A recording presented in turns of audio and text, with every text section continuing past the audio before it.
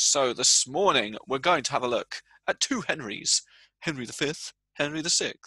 Um, and like I just mentioned, we're going to be spending a lot of time in France because um, the thing about Henry V, or at least the thing about Henry V that I like most, is his part in the Hundred Years' War.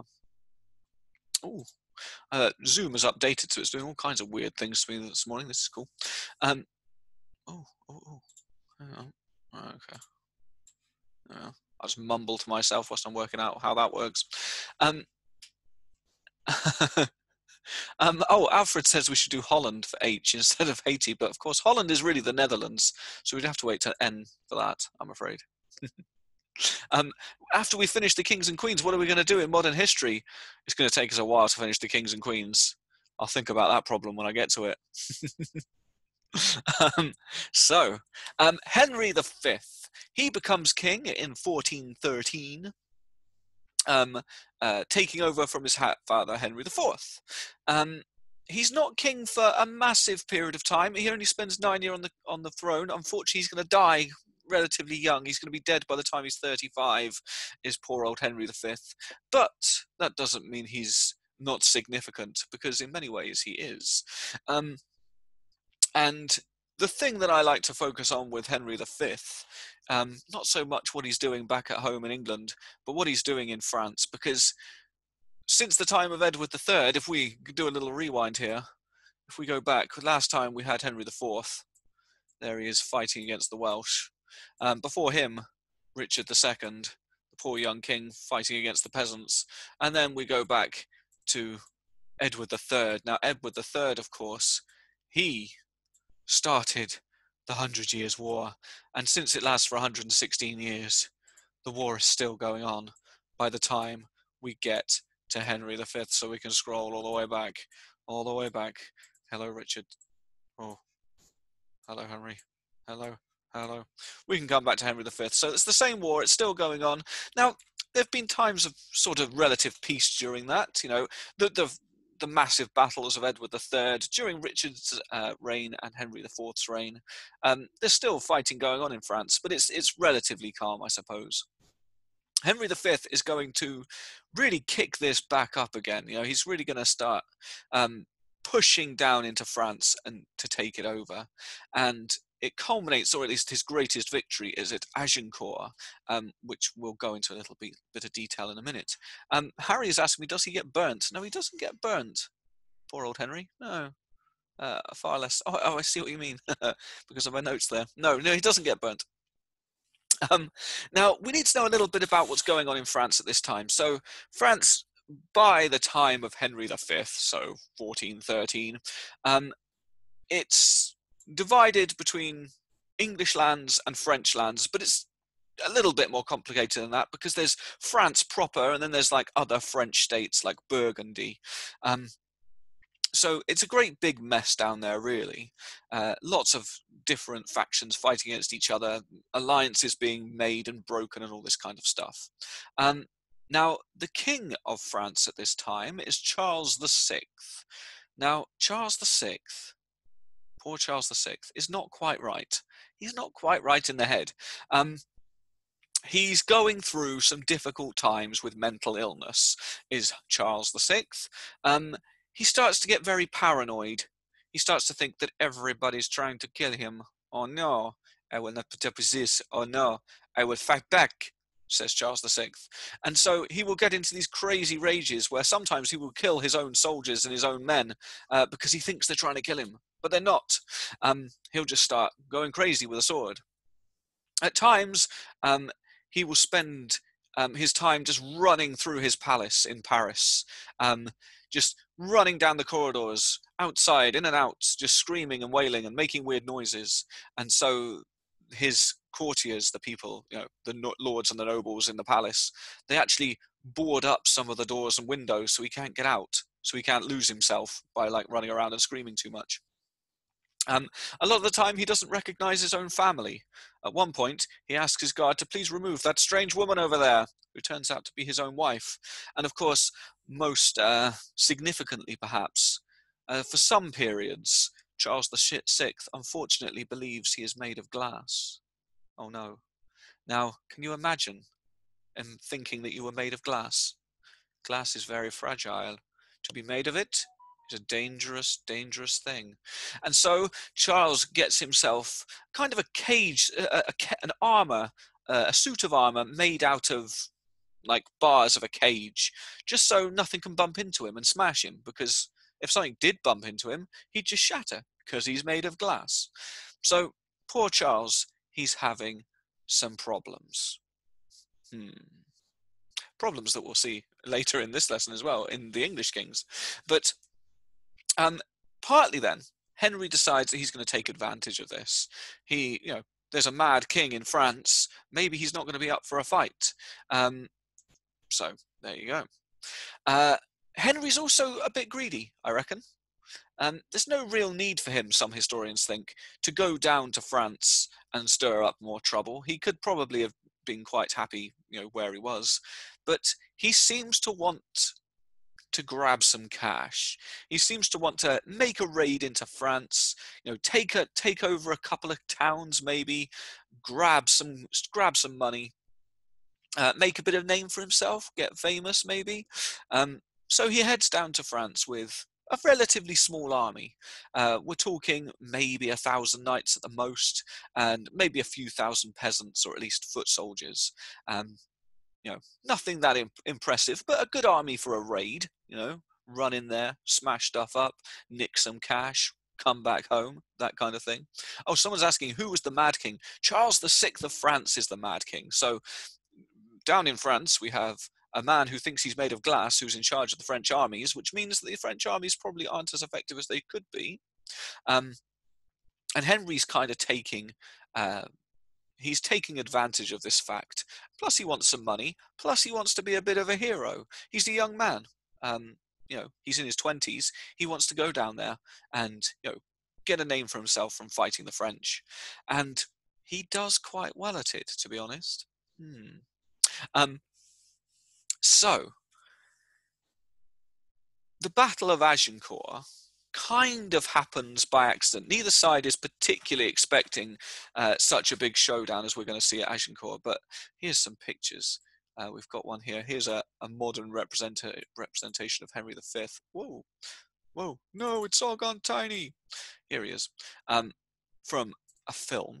Here he is, look, riding his beautiful white horse with his uh, you can see the lines of plantagenet there on him even though he's not technically a plantagenet anymore uh, still the lions of the english kings um, here we've got another picture showing and it's a bit like the one behind me showing the battle itself um, now the battle of agincourt is one which is quite famous in england. It's a, it's a pretty big battle in you know english history terms. Strangely if you go to france it's not so not so well known. It's not a very famous battle at all because spoiler, the English are going to win this one. Um, so um, the battle starts out. We've got to imagine Henry's army. They've been down in France for a little while now. They've been raiding, they've been pillaging, they've been stealing stuff. They've been fighting against you know, relatively small groups of French people. It's been quite easy, to be honest. But they have they're, they're just about ready to go home. You know, they've had enough, really. Um, people are starting to get sick whenever armies march around for too long, especially back in the medieval period. There's a real good chance that people are going to start getting sick. Uh, we've seen the pooing to death, haven't we? There's a lot of that going on. Um, and the reason for that is that being in, a, in an army, especially if you're an army that keeps on having battles, isn't very hygienic. We've got lots of men and women camping together um, for long periods of time. Uh, the food isn't great. Uh, you know there's nowhere to wash for sure. So it's you know things start to get stinky things start to break down people start to get injuries and disease starts to spread. Um, we've also got some bad weather right now in france uh, during this period. Uh, it's very rainy. It's very it's kind of warm and rainy so a good uh, environment for bugs and diseases to spread in. Also the english are running low on supplies a little bit so they're basically ready to go home but Henry decides to have one one last hurrah before he takes his men, who have done quite well already, back to England for some rest and relaxation and to heal. Um, and so he decides to push on down uh, towards this place called Agincourt. Um, oh, a good question. Is that hair or a hat? I think in this picture we're looking at a hat, like a floppy hat on top of Henry. Um, hmm. Uh, but I assume I mean, our picture is showing us that he must have had pretty short hair because his his neck is is free of hair, isn't it? So I think we're looking at a floppy hat on a on a very thin thin haired head. Yes. Hmm. Um. Uh, oh, uh, Monarch asks, are we going to look at Henry VIII next? No, Henry VIII takes a little while to to come along. Um, we've got some Edwards and a Richard first, and then a Henry VII before we can get to Henry VIII. Soon, a few weeks, and we'll be there, but not quite yet. Um, so along come the English army, this small, kind of worn out English army, and they're trudging through the rain and you know the sickness and all this kind of stuff, and they come across a humongous a French army. We're talking proper big. Um, estimates suggest that the French army was at least twice as large as the English army, but possibly even larger than that. it's difficult with all these medieval battles. You'll, you'll read one historian and they'll say, oh, yes, uh, there were only uh, a thousand English and there were 9,000 uh, uh, French. But then you might read a different historian, perhaps a French historian, who will say, "Oh no, there were basically the armies were the same size. Uh, uh, the French they had a very good army, but uh, it was only little." Um, sometimes you hear, you know, there were six English guys and there were 15 million French guys. So it's it's hard to you know, pin it down to actual numbers. You know, records weren't great back then. So this smaller English army, we're pretty sure it's smaller English army, comes up against this much bigger French army. Now, the French army is made up of lots and lots of knights.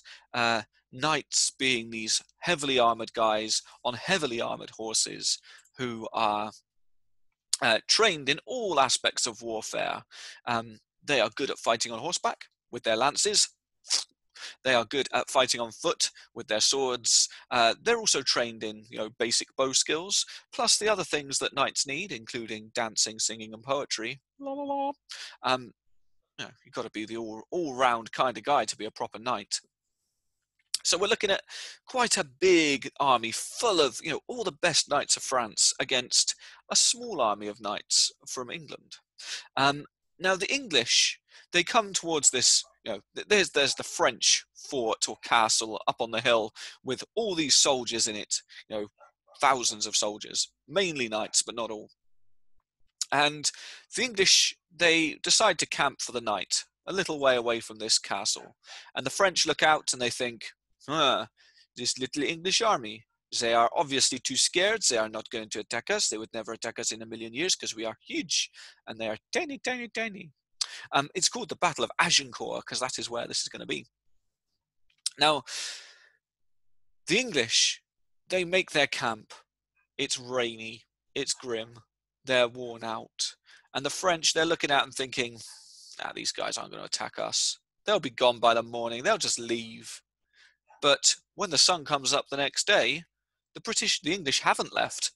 In fact, they're in full battle order and they're advancing on the French city.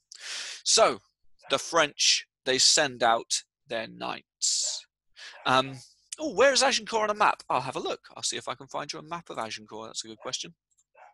Um, so we're looking at, here we go. Uh, let's have a look here. Hmm. Agincourt on a map. Here we go. We got it on this one. Yes, it's not far from here, really. Here we go. So here we have England and France, and here we have Agincourt. As you can see, Henry's already been around, taking places down, having all these battles. Um, he's on his way home, you know, off to Calais, get on the ships, back to England, home in time for tea, all of that stuff. Uh, yes, sorry, you can hear my dog in the background, can't you? I think she'll be quiet now, hopefully. Um, so, yes, this is where this is the the route that Richard has taken, and Agincourt is pretty much last on his list of things to do in France. You know, it's kind of an extra, uh, just before he pops off to the duty free. Now, the English are advancing. The French they send down their heavy cavalry, their knights, and the knights start to gallop. Now, Henry's picked quite a good area to fight in. We can imagine this big, wide, grassy field, kind of with like uh, loosely forested areas on either side. Um, uh, it's kind of an open ground. He himself has a bit of a hill, but not much. Um, and the French knights they charge down from their uh, vantage point. Oh, hang on. I, am trying to make the map big. I don't know if it'll do it. Here we go. They they charge down from their vantage point, um, and they smash, or at least they try and smash into the English lines. Now, the English they have a couple of advantages. Yes, they have the smaller army, but it has been raining for a while, and as the French horses, as they start to gallop across this open field, it starts to get kind of churned up. You know, the first knights down, they're all right. They just gallop across the grass into the into the English. There's a great big back and forth and smacking about as you get in battles. But the second line of horses and the third line of horses and the fourth line of horses, they're starting to kick the ground up and it mixes with all the recent rain they've been having and it ends up turning into this great sticky muddy soup. By the time the fourth and fifth lines of horses are coming down, they're no longer galloping. They're kind of stomping their way through this quagmire. By the time the next lines of knights come down, they are getting fully stuck. By the end of the battle, the French knights will be sinking, their horses deep into the ground will be sinking down, the knights will be falling off, and because they're dressed in full armor, they won't be able to pull themselves out of the mud and they will get sucked down and they'll be drowning in their own helmets as the mud goes over their heads. Grim. But mud isn't enough to stop the French. Uh, the French still outnumber the English, but then Henry pulls out his secret super weapon, the weapon that no one was expecting, the weapon that had never really been used to this effect before. But we can imagine we've got the French knights and the English knights, they're battling away, you know, in the mud. And then, yeah, that's it. And then from the sides, up pop peasants, English peasants. With, with this new technology, or relatively new technology, called the longbow. Now, the longbow is a bow and arrow that is, well, longer than a standard one, I suppose. Bows and arrows have been used for hundreds and hundreds of years, uh, but well, thousands of years by this point. Um, but what, and this is usually seen as a Welsh invention, this, but our bows and arrows, they are really, really long. In fact, the one in this picture isn't particularly long at all. A proper longbow would be down to the ground and way above his head. So this is more like a standard bow here. But um, the long bows that these peasants were using were different from normal bows. If you shot a normal bow at a guy in armor on a horse, it would probably bounce off. Yeah, it would probably feel quite ouch, but you know, it would probably bounce off. These longbows, it is said, and there is some question about this, um, if you fire a longbow at short range against a knight, it will go straight through his plate armor and straight into his skin, killing him. So all of a sudden, when you're stuck in the mud, all these peasants rise up around you and start firing these heavy bows that can punch through your armor. People are starting to drop like flies now. The French are in full panic. They can't really retreat because they're stuck in the mud and they're being constantly pounded by these longbows. Thump, thump, thump. Now, I've heard it described as one historian that maybe the longbows didn't actually kill that many people. You know, maybe um, our longbows are causing. Um, yes, a man did lose his head, didn't he? Yeah. Um, maybe our um, uh, the longbows they're not actually piercing armor. No, it's unclear. Some people say they could. Some people say they couldn't. Um, one historian reckons that even if it didn't pierce armor, um, if you were hit by a, a, an arrow from a longbow, it would have been like being, you know, punched straight in, you know, punched really hard by a boxer. So even if it's not going through the armor, it's like being just pummeled. And if you're being hit by these bows, which could fire multiple times a minute, um, they would just, it would feel like you were just being punched over and over and over again. And it turns out that most of the French, or a good 50% of the French knights, they end up surrendering. Now, a good question here from Lord Explosive. What is chivalry? Because that's on my list, isn't it? Now, chivalry is the sort of moral code that underpins being a knight. Hmm. So knights are supposed to be chivalrous. It's it's it's a moral code. They're supposed to never harm a woman. They're supposed to never harm a peasant. You know, unless they are provoked or attacked by the peasant. Um, they're supposed to protect the weak. Yeah, the peasants and the women. Uh, you know, back then, um, kind of sexist, but that's the way it goes. Um, they were also never supposed to kill each other unless they uh, you know were in the middle of a battle. But at any time, if a knight surrendered, then they were supposed to be taken away and sort of used as captives. Um, you could never kill a knight. A knight could never kill another knight if they had, you know, surrendered, thrown down their their weapons, all that kind of stuff. Um, so chivalry was all about being polite and gentle and honest, but also a good warrior. You know, to defend the weak, uh, you know, slay dragons, all that kind of stuff. Um, so chivalry is in full bloom at this point, and the French so the French knights they start surrendering in huge numbers. You know, hundreds of them throw up their hands, drop their weapons. Ooh la la, take me away. Let's let's, let's of sit down and have a biscuit. So they're taken away by the English. You know, we can imagine there's still people fighting. You know, it's still a complete chaos. But more and more of these French guys are throwing down the weapons. They're being dragged off, and they're being sat down behind the English army. Um, weapons are taken from them, and they're told, you know, sit down, be quiet, just wait for the battle to end. Now, chivalry states that if you're if you've been taken prisoner, you don't try and escape. That would be incredibly rude. Huh. I have been stolen. I cannot escape. That would be very, very rude. No, I will sit here and I will be quiet. So the French sit down. Um, there's a few English guards to make sure they're not up to any uh, naughty business. And the French look like they've been defeated. But that's only the start of the French army because following up behind are more knights, you know, another thousand odd knights. Behind them are thousands of men with crossbows, and behind them are all the peasants with their pitchforks. I mean, there's a lot of French still to come. Uh, the English have won, sort of. They've they've won the first part of the battle, but you know they haven't. Uh, they have not won the war yet. so um, um, uh, so, some some shout outs here for uh, what was for for women in general. Apparently, I'm being told that women are not weak and they do not need to be defended by knights, um, and uh, nor the dragons. Yes, there you go.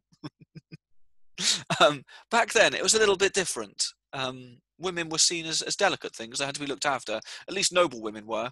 I mean, up until they hit you, I suppose. Hmm.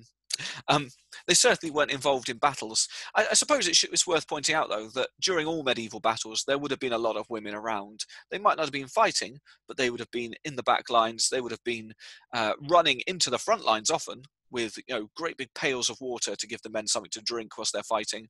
Uh, they would have been taking away the wounded and the dead. Um, uh, so yes, there would have been a lot of women around, and I'm sure every now and again a woman picked up a bow and arrow and had a good go with it as well. Yeah, I, would be surprised if that never happened. Hmm. So it looks like the, the English have won the first part of the battle, but it looks like there's more coming. And it's this point that Henry V becomes a little bit naughty. Hmm. Now, the rules of chivalry say you must, if you if you surrender, you must be looked after. But Henry we're not quite sure. We don't. We're not sure if he starts to panic. We're not sure if the French do something that scares him. Um, we don't know if he just, you know, decided this was a good move. But he turns around to his men and he orders that all of the prisoners be killed. All of these French knights, hundreds of them, you know, just sat on the grass at the back of the of the battlefield, not doing anything. He tells his knights, "Kill them all." Um, what Henry is afraid of is that with this new French army that's coming in to fight, the, all these prisoners they might stand up and fight as well, and the English will be trapped. Henry has realized, you see, that he's in fact been so successful that there are now more French prisoners behind the English army than there are in the English army. Yeah, so he's outnumbered by prisoners. There's a, there's a limit to how many prisoners you can take, I guess, and still be safe. So he gives this order. Now, some of his knights, they say, No, we will not kill these prisoners. We are good knights. We believe in chivalry. Henry says, If you don't kill them, I will kill you myself, and then I'm going to kill them anyway. So get on with it. So there is a slaughter. All of the French uh, prisoners are executed there and then. And we're talking hundreds of men. Um, now, the French army that's advancing, they see this happening. They see all the French knights being killed, and this we're not talking just knights here as well. We're talking some of the most important leaders of France. Now, the mad King Charles, he isn't there at the point at this point. He's probably in his castle screaming, um, but all of his second and thirds and fourth in commands, they're all killed. You know, by Henry's orders um, at this battle. The advancing French army that's come to relieve and you know finish this off, it turns around it goes back. It's like, well, we're not fighting in all that mud and we're not getting our heads chopped off. This isn't worth it. And so they retreat. And it's a great English victory, but at what cost? Um, often the Battle of Agincourt is cited as the time when knights finished. The last proper battle of knights. You know, medieval knights will never really reappear again. And there's two reasons for that. One is that uh, the battle is called Agincourt. It's spelt up here, Agincourt. There. Um, there are two reasons why knights don't ever really make an, uh, an appearance after this. Number one, Henry's been very naughty and he's kind of spat on the rules of chivalry. He said, "Look, we're not going to be chivalrous. We're going to kill people. Who who cares about the rules?" Which puts everyone off, I imagine. Also, and probably more importantly, this is the first big battle when it's been proven that peasants just normal Farmer Johns and Farmer Gileses, with a bit of stick and a few arrows, can kill a knight. Uh, before this point, the knight was pretty much invincible. The only thing that was ever going to kill a knight was another knight. You know, that's all very fair. Mm-hmm. Um, but now, someone can, you know, some turnip farmer from Cornwall can stab you right up good. It's no point being a knight anymore, is it? Mm. So, the battle ends it's a great victory for Henry. He he manages to take back a lot of plunder back to England, and he's pretty much, they say, decapitated the flower of France. He's taken out all of the French leadership. So France doesn't really ever get to fight back for at least the next 13 years. Um, they're on the back foot. In fact, uh, Henry goes into discussions with the re- representatives of King Charles and it is agreed that Henry can be King of France once Charles VI dies, which means that France and England will be united as one country. now, this would be great. This would be wonderful. And in fact, it was very nearly great and wonderful, except for one slight hitch. Two weeks before Henry was supposed to become king of both France and England, he drops down dead. Hmm, not going to happen. Um, Oh, uh, that's a good one. So Jasper's saying uh, that his dad thinks that longbow strings can be removed and protected from rain, but not crossbow strings. That's that would make sense too. Yes, maybe they are easier to to use in the rain. Um, the crossbows, as far as I know, never came into play. There were something like um, 10,000 crossbowmen or something ridiculous in the French armies, but they never came into play, um, which is why some people think that that's maybe the, the, the problem of this battle. The French could have won it, but they just chucked a load of knights forward first, thinking that they'd defeat the English easily. If they'd sent maybe the crossbows and the peasants forward first with a few knights, you know, it probably would have been quite an easy win for the French, to be honest. But they were overconfident. You know, they thought, no, we'll send in we'll just hammer them out of the way. We'll, we'll be back in time for lunch. Uh, we won't have to worry about this. Um, a question there: What is a crossbow? A crossbow is like uh, it's kind of like a basic mechanical bow. You put an arrow in a machine and you crank it back to make the arrow taut, the, the rope taut, and then you you click a trigger and it shoots out uh, an arrow. So it's kind of like a, an arrow gun. Yeah, maybe that's a good description of a crossbow. Mm. Um, uh, Asma is asking me, how tall is Henry V? I have no idea. I'm afraid. Um, but he was only 35 when he died, to answer Rukia's question. Okay. So he drops down dead two weeks before he's supposed to become, you know, official king of England, um, because that's when Charles VI dies, and it would have passed to him. Um, now Henry himself, being a young man, he doesn't have anyone that he can directly uh, give his his line to. He did have a son, but unfortunately his son died before he did. So he ends up giving his crown to a very young nephew of his. Um, uh, his nephew being our next king in line. Now, it's unsure exactly why he dropped down dead. Um, some historians, or at least the traditional story, used to be that he got dysentery and he pooed himself to death, like so many others before him. Classic pooing to death scenario. Um, although this is unlikely because it seems to have been a very sudden death, and dysentery, pooing yourself to death, usually takes a while. We're talking months at least of getting steadily sicker and sicker and sicker. And there's no historical record of that. It looks like he was fine one day, or, or at least one week, and dead by the next week. So the chan- uh, the sort of the other main hypothesis is that he got too hot. He got sunstroke. He was riding around uh, at a different battle in full um, sunshine. You know, years later, this is. Um, he got overheated in his armor, and he would have died as a result of that somehow. You know, the the heat stroke got him, and he just you know collapsed and died. It's hard to tell. We don't know for sure. Um, what we do know, though, is that the next king in line is only 10 months old when he's about to take the throne. We're talking a baby king, people. Full on baby king. Here we are. And our next one is Henry VI. Um, uh, you'll see here that for the first time we have something a little bit different. Um, we've got two sets of dates for Henry VI because he is not going to be king once, but he's going to be king twice, which doesn't happen very often. Um, so he takes over, uh, he gets the job of king at 10 months old when he, in 1422. Um, he will be king until 1461, which is a good long reign.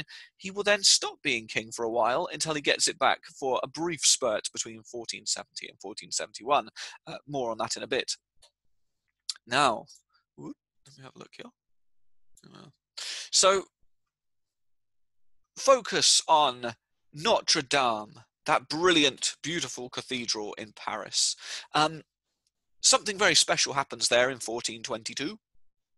Uh, Henry is dead, Henry V, uh, sunstroke, whatever killed him. Um, and his baby uh, baby nephew takes over. He is the first and only king of England, is Henry VI, to be both king of England and France. Um, no other king were ever crowned both England and France. Um, and to be fair, Henry VI never quite took over the entirety of France. He got close, but never quite. Um, so, uh, but he is he, he has that claim to fame, and so because he's the king of both countries, he is coronated. I mean, given the crown in both countries. He is coronated in England, and then he is coronated in Notre Dame Cathedral in Paris. Um, now, he meet we're in in the cathedral you can imagine this baby sat on the throne with a crown on its head, or probably sat in the crown because crowns are pretty wide and babies' heads are pretty small. But I don't know. Um, maybe they put on like a, a, fake baby crown just to just to make a thing of it. Um, the reports from that day, though, say that there was great celebration and there were lots of English people there, but all of the reports from France uh, or from the French people who were present were mainly complaining about the food they said that the English chefs were just awful and their food was terrible, and you know they, they weren't as good as French chefs, which might be true. I don't know. Those of you who have eaten in France, you may agree or disagree. It's up to you, I suppose. Um, so he becomes king of this very, very old, early age, and he continues on the wars. He's not much of a warlord himself. He's no Henry V. Henry V wants to be in battle. Henry VI, not so much. Um, he will be in battles for sure, but as, as we'll see, not, maybe not of his choosing. Um, and the start of his reign is pretty, pretty peaceful, fairly peaceful, let's say. Um, let me just uh, take a look here. Da-da. Oh. Uh-huh. Um, sorry. Um, so he's there, and as he gets older, he starts to get a little bit, well, a little bit Charles the Sixth-ish, I guess. Um, he starts to lose his mind a little bit. Mental illness creeps in, and things start to fall apart. Um, but before we get to that, we need to talk about something that's happening in France because Henry VI, as wonderful as he is, and I quite like Henry VI, he, things are not going to go well for him in the Hundred Years' War essentially what Henry manages to do is lose the Hundred Years' War, um, which I suppose we can put in here, because if we leave Henry V and Agincourt in particular, you know, France is beaten. France is now this tiny little section in the southeast of the country. Um, its king is dead. It's led by the Dauphin, uh, or the Dolphin in English, who is that's the name that we give to the second in command, or the the next future king of France. But he can't be king of France because, well, Henry VI is the king of France, and to be king of France officially, according to French law, you have to be crowned uh, in the city of Reims. Uh, but this this city has been taken by the English, so you're not getting in there, and so you're not going to be king. It's all looking pretty dire. Until an unexpected hero arises in France. Uh, I'll put a picture of her up here. For those of you who want some women, here we go. Um, probably one of the most famous women from the medieval period. She comes along. Joan of Arc, oui, oui. Um, here she is with her banner of the French. Now, we could do an entire hour on Joan of Arc, but let, us let's try and put her into into the context of our English kings here. Um, she uh, comes from a very little village called Arc, hence the name Joan of Arc. Um, it's nothing to write home about, but her family uh, are in a in a troublesome spot. Um, yes, I can write her. I'll write her name up here. I'll put it on the list here. There we are, Joan of Arc. Um, now, Joan, her family come from, you know, just a, a, a rubbishy little peasant village, like most people do at this time in history. Um, they are they spend most of their time in fear of the English. In fact, the English have been through and attacked and raided before, um, so they're no fans of England. That's for sure. Um, but Joan, she's a, a, quiet girl. She grows up, you know, in a very normal kind of uh, household. She's she's not special in any way until she starts having visions. The angels talk to her, the dead saints talk to her. They have full on conversations with her in her head. Um, and this goes on for a few years, you know, telling her how to behave, go to church, do this, do that, all this kind of stuff. Until one day, the saints and the angels, they tell her that it's her job to save France. She needs to go and take, take back the land, get rid of the English, um, make things better. So she knows that she has to go and find the dolphin, the dolphin. She has to go and speak to him. She has to, you know, tell her that he she's got a message from God. She has to get across country, and now most of France at this point is controlled by the English, so it's not safe just to ride around, especially if you're just a young girl on your own. So she disguises herself. She cuts her hair down, she puts on men's clothes, and she rides out to find the Dauphin. Now, long story short, she ends up at the court of the Dauphin and she asks to see him. The guards say, No, that's ridiculous. You're some random girl with short hair dressed like a boy. Get out of our faces. Um, but she says, Please, you know, I've been sent by God. Um, a bit like Mulan, indeed, yes. Um, and so the guards they go and they talk to the to the Dauphin and they say, Look, this, this girl's here. She says she's got a message from God. Do you want to hear her? Probably the Dauphin would normally say no. To be honest, by this point, he is desperate. He has absolutely no clue how he's going to defeat the English. He needs a miracle. And here's Joan of Arc saying she's got a miracle. So he says, sure, show her in, bring her in. Um, but he sets up a little trick for her, a little trap to decide whether she is really sent by God or not he gets some random Joe and he, he gives the Joe all of his clothes and his great big crown and he says, Look, you dress up as me, the Dauphin. I'm going to go and stand in the audience and just like be one of the crowd. Hmm. She won't know. She can talk to you, not me. I don't have to deal with her. You know, if she is magic in any way, then she'll probably get see through it, but she ain't going to. So Joan, she walks into the throne room, and there's loads of people stood around, including the secret Dauphin. Um, up on the stage there, or whatever, there's uh, there's the man dressed up as the Dauphin, not the real Dauphin at all. And he says, Welcome, uh, what have you got to say to me? And she looks at him and she says, I'm not telling you anything. You are no Dauphin. You are some impostor. And she looks around the crowd and she sees, you know, the real Dauphin who's dressed up as like a normal guy. And she walks up to him and she bows down low and she says, Dauphin, I have been sent by God uh, to help you and to save France and everyone goes wild, of course, because it looks like uh, Joan of Arc really is capable of talking to the angels. So the Dauphin then has her tested. She is taken away by priests and bishops who poke her and prod her and ask her loads of questions. And then they come to the conclusion that yes, she can speak to the angels, so she is holy, and we should give her something to do. And so the Dauphin, remember he's desperate at this point, he sends her to the siege of Orleans. Now, Orleans is an important city which the English own, and the French have been trying to attack and trying to take down for months at this point. They don't let Joan join in the battle proper, but they let her wear armor and they let her hold the sacred flag of France, this magic, you know, holy standard. Great big flappy flag. And so she rides out to Orleans and she starts to encourage the men and she waves her flag and she tells them that God is with them. And within a few days, they have taken the city, yeah, from no chance to they've done it. She then leads the, the French army all over France, just winning battle after battle after battle. At one point, ugh, she is shot and hit by a crossbow bolt, which could have killed her, but it doesn't. Miraculously, she survives and keeps on waving her flag, and the French army just keeps on winning defeat after defeat, or winning battle after battle after, after battle. The English are being beaten back. Now, eventually, the story of Joan gets a little bit darker because she is captured in battle by the Burgundians, who then sell her for a great amount of money to the English, who put her in prison and they try to find an excuse to execute her. They want to say that she's a witch, that she's not actually talking to the angels, she's talking to demons, demons in her head. Yeah. Um, so they put her on trial. Not a normal trial, a trial that lasts weeks and weeks.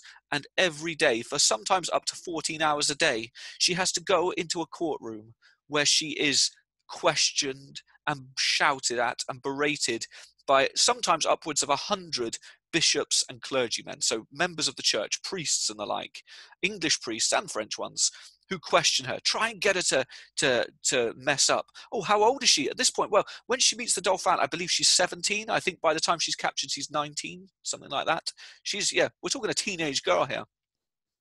She managed to survive weeks of intense interrogation, and never once does she give any sign that she is demonic, only that she is pure and holy. She can answer any questions any of the priests throw at her in a perfectly Christian way. So they cannot kill her because they cannot prove that she's a demon.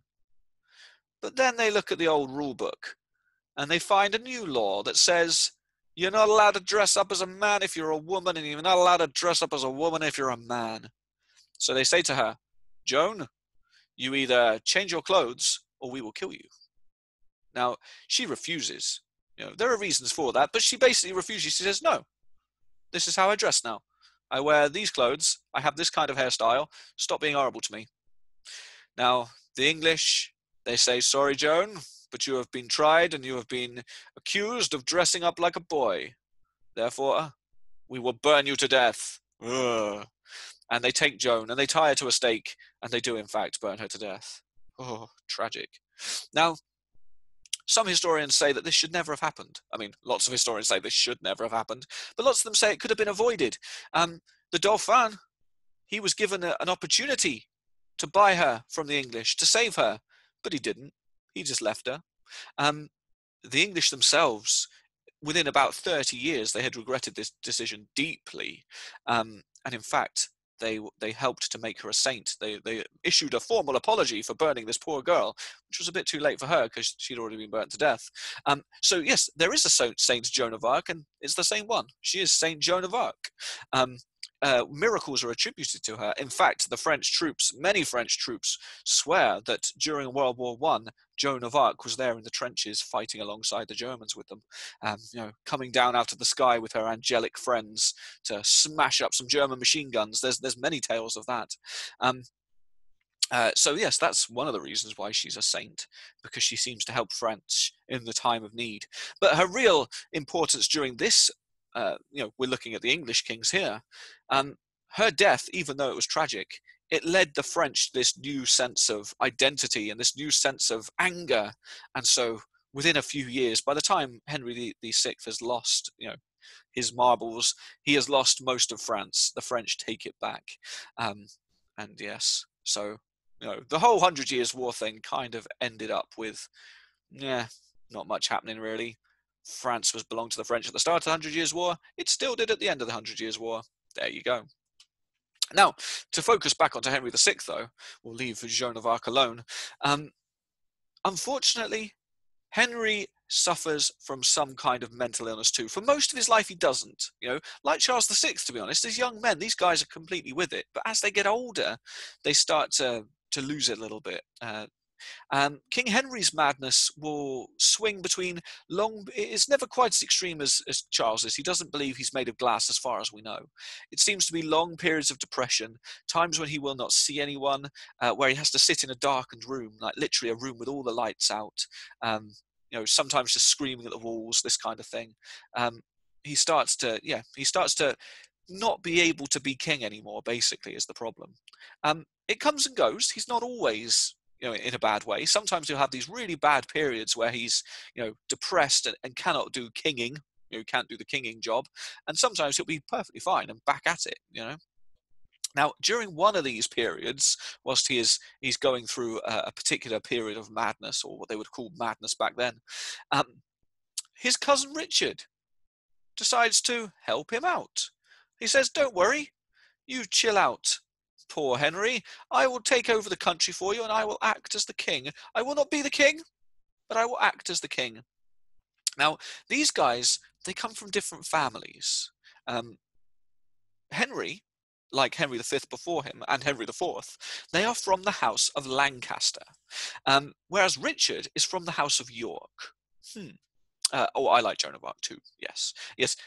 Joan of Arc is worth studying. The story I gave there was a very compressed version. It's far more impressive if you read the whole thing. Um, uh, but um, so we've got some people from the House of York and some people from the House of Lancaster. Now, this isn't Richard III. Uh, good question there, Rock. No, this is a relative of Richard III. Re- Richard III comes a little bit later. Um, but we can call him Richard of York. He is Richard, Duke of York, um, but he never becomes king, this guy. Um, he takes over the job and he says, Look, yep, Henry, you're a bit ill at the moment. It's fine. I'll take over things for you. You know, you just go lie down, son. Uh, so Henry takes some time off. Richard takes over the country. It's all looking good. Um, now, after a while, Henry comes back to normal. You know, his illness passes. He's okay. yes, Jasper.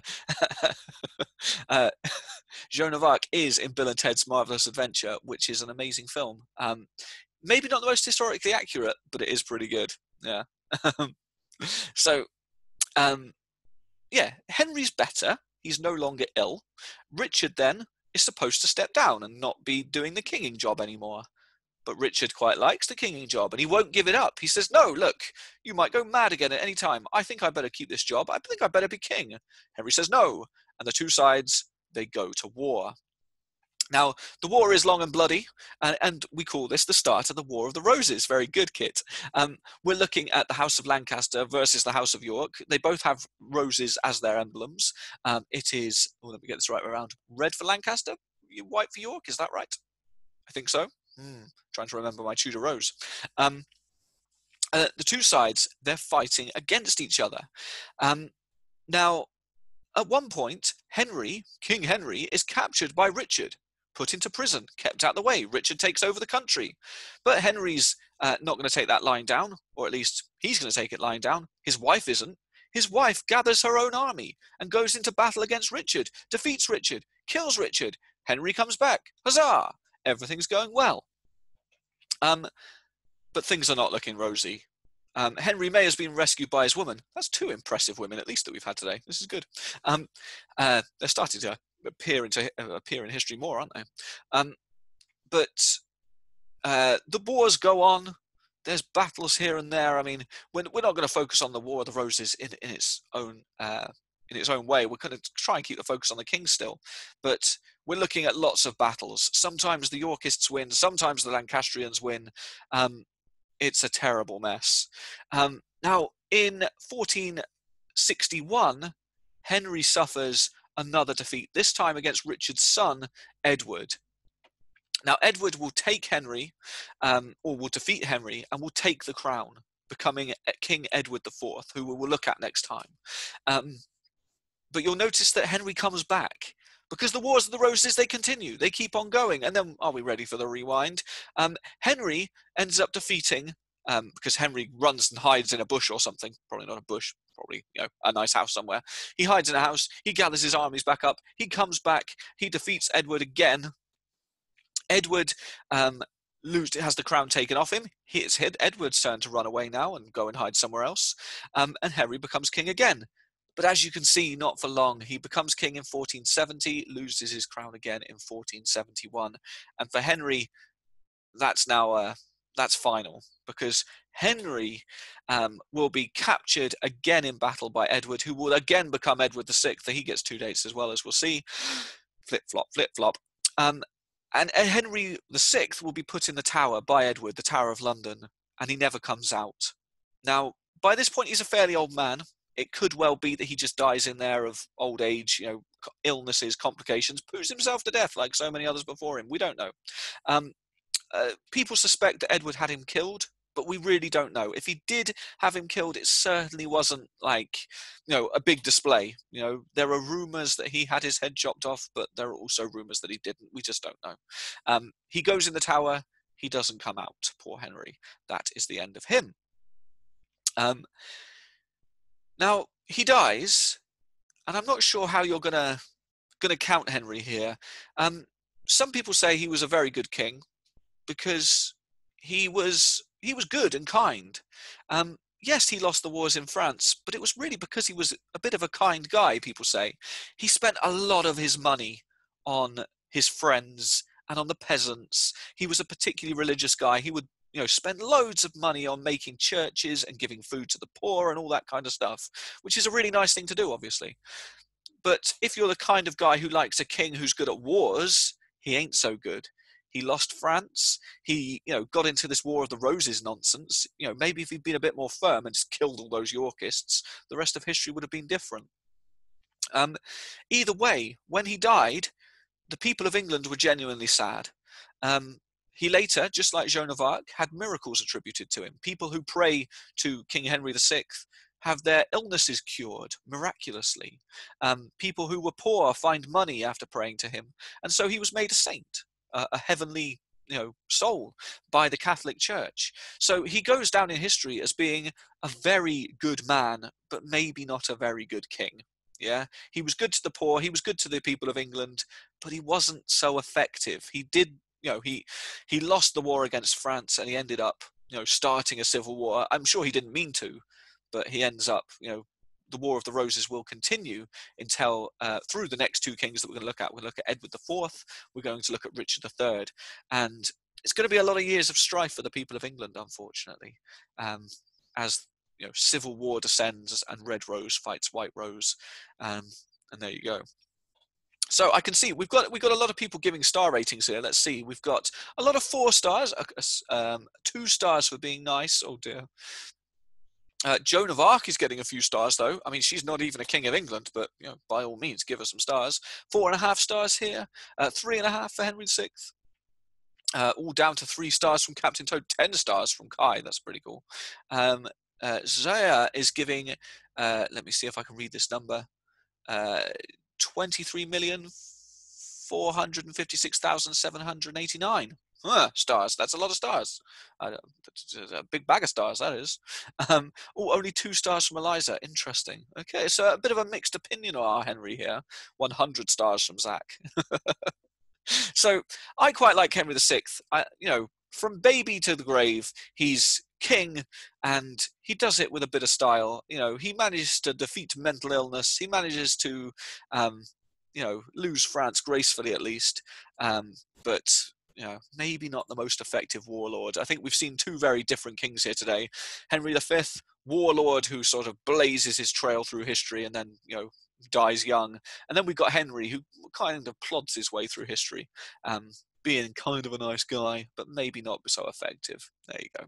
Hmm. All right. Thank you very much, guys. Tomorrow in geography, we are going off to Haiti. Um, on Wednesday, we're going to ancient Egypt. That'll be quite fun. Uh, Pointy Buildings et al. Um, and then we are going on Friday, we're going to have a look at the myth of Isis and Osiris, or at least a myth of Isis and Osiris. So it should be quite a nice week. Um, I hope you're all doing very well, and I will see you all, hopefully, tomorrow. Adieu.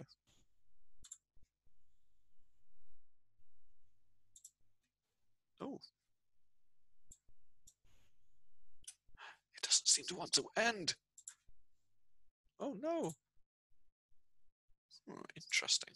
How do I end it now?